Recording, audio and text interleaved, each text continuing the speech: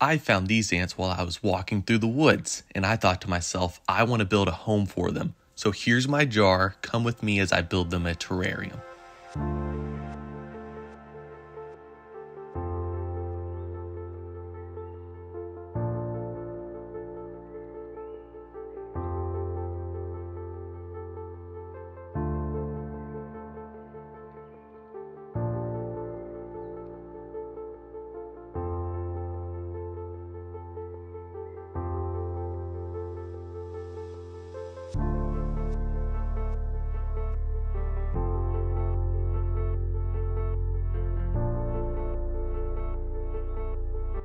And now let's put the ants in the terrarium.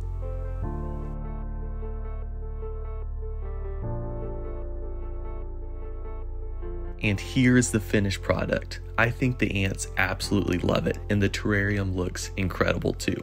If you like videos like this, please come check out my channel. I really appreciate it.